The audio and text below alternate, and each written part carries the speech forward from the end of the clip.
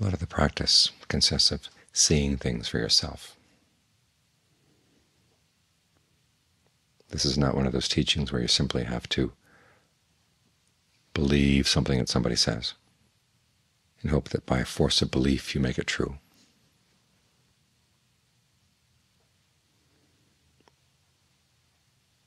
You're actually told to look at the teacher, look at yourself.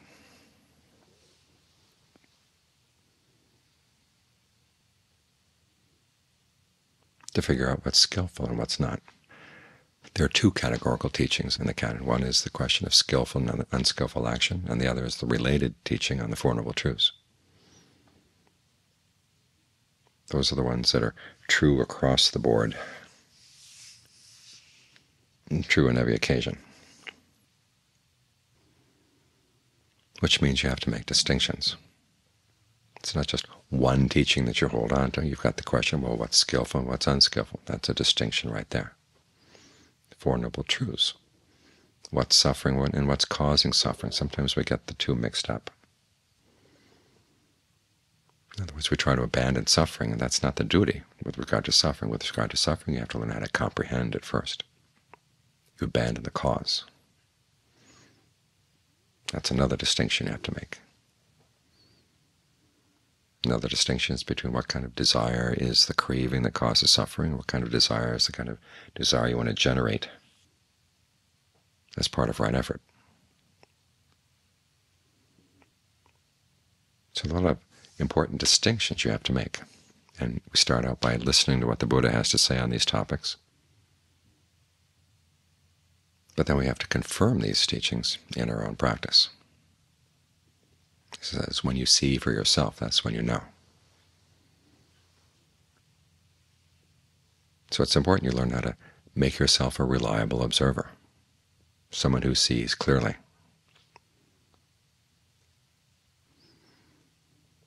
Here it's important to remember one of the teachings the Buddha gave to Rahula. Before he taught Rahula about breath meditation, before he taught him other meditation topics, he taught him meditation on the four elements. And specifically, this kind of meditation is make your mind like earth. When people throw discussing things on the earth, the earth doesn't shrivel away, doesn't recoil in horror, it just sits there, accepts these things. Make your mind like wind. When the wind blows disgusting things around, the wind isn't disgusted by them, just blows things around.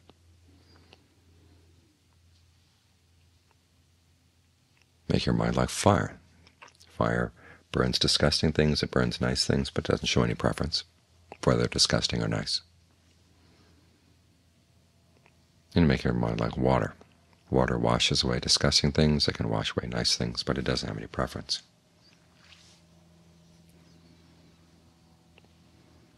In other words, you have to develop that kind of stability of mind. Not that you're just going to sit there and accept things as they come and go and be content there. But it's a prerequisite for seeing things clearly. Because otherwise, if you're always running away from things you don't like and running toward things you do like, you suffer a redshift. In other words, you don't things, see things clearly for what they are.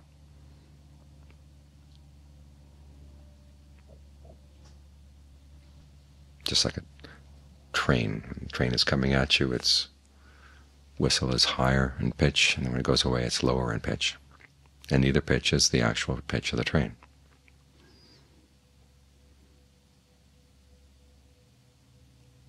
So you've got to learn how to stand still and watch, and learn how to be reliable in how you look at things.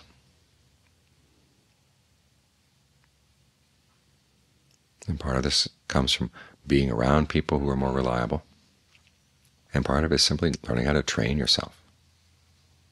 When you see yourself reacting with likes and dislikes, you have to remind yourself this may not be the way things are. It just may be vision that's tinted, distorted.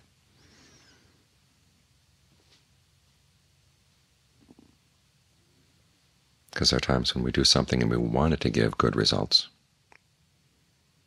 And it just can't give good results. But we keep wanting, wanting, wanting, so we keep trying it again and again and again. And we don't really see that the results are not coming out the way we want them to. We'd like them to, and it just can't happen that way. And there are things we don't like to do that actually will give good results, and you have to buckle down and do them. You have to learn how to force the mind in these ways. It's not just a matter of picking which teachings you like and putting aside the teachings you don't like. There are some teachings that are really skillful, but we don't like to do them. They're hard. They require qualities of mind that we don't have fully developed, or they require that we let go of things that we really like. Especially as you get older, it seems harder and harder to work on new qualities of mind. But you can't have that attitude at all, otherwise it consigns old people to the dustbin.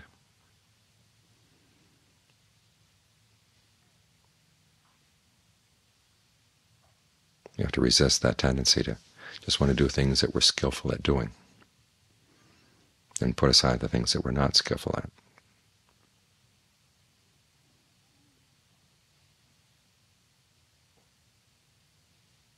So try to make your mind like the earth. Make it like water, wind, and fire. Make it like the elements. Make it an elemental mind.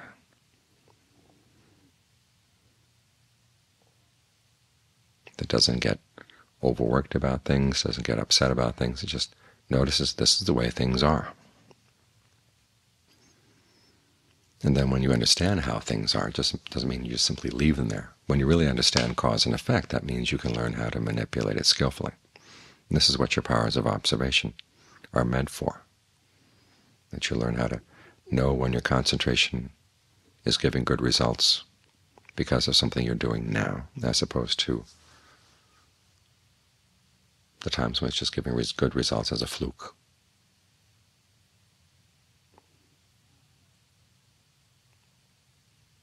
When you find yourself going off course, so you're focusing the wrong way, you're bringing the wrong attitude, you're being too pushy, you're being too impatient with the breath, too impatient with the mind.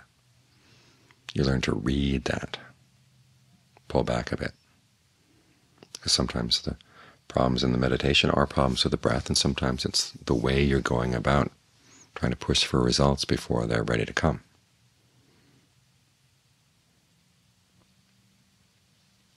Squeezing the mango to make it ripe, make it soft. It doesn't, that doesn't ripen it, it just turns it into mush.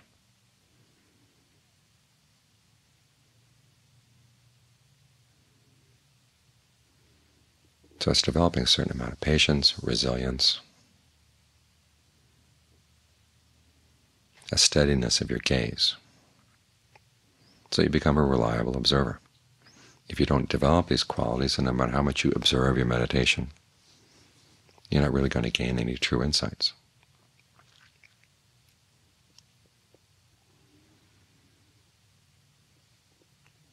So remember that. That's the beginning skill in learning how to observe things for yourself, is make your mind into an elemental mind that's willing to learn whatever lesson is necessary.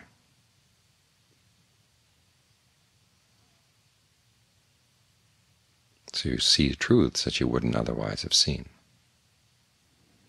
And you can gain skills that you otherwise wouldn't have gained. Because you're willing to accept things as they are and accept causal connections as they are so that you can figure out how to make the most out of those connections. Notice that this is the prerequisite for breath meditation and any other forms of meditation. And the breath meditation is not just watch the breath coming in, going out, leaving it that way. You train yourself to be aware of the whole body. As you breathe in and breathe out, you train yourself to calm the breath. You train yourself to breathe in such a way that gives rise to rapture, ease, pleasure. You train yourself to breathe in a way that helps gladden the mind, steady the mind, release the mind. These things don't happen just by sitting there and watching. You watch, and then you experiment, then you watch again, experiment again. You're trying to master causality. And the steadiness is just to make you a reliable observer of causality so that you can learn how to influence those causal processes in the direction that you want, make them part of the path.